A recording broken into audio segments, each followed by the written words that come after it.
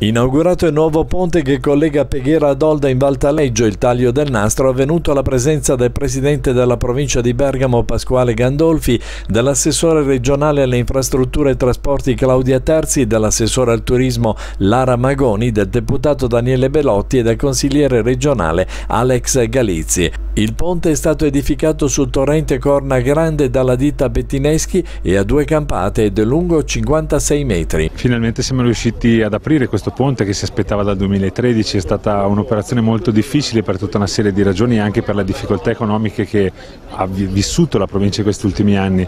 Qui grazie ad un contributo importante della provincia, 400.000 euro e altrettanto importante di regione, 1.400.000 euro, oggi consigliamo ad una valle una, un ponte nuovo che vuol dire un collegamento utile eh, sia per le attività che sono insediate in questa valle sia per i cittadini che per i turisti. Le vicende del viadotto di Peghera, frazione con meno di 200 abitanti appartenente al comune di Taleggio, circa 600 abitanti, cominciarono nel 2013 a causa di una frana che lasciò emergere l'inadeguatezza della vecchia strada.